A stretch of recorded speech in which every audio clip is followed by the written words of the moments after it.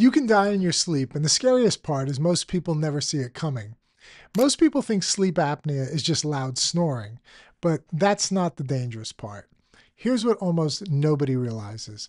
Some people stop breathing dozens, even hundreds of times every single night without waking up.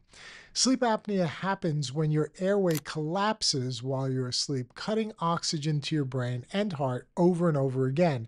Each time your body panics, your heart rate spikes and your blood pressure surges. And over time, that damage adds up.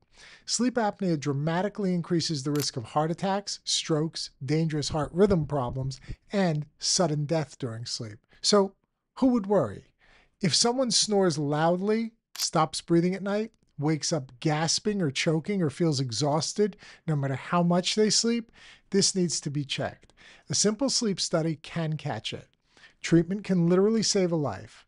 Most people don't find out until something bad happens. Share this so it doesn't happen to someone you love.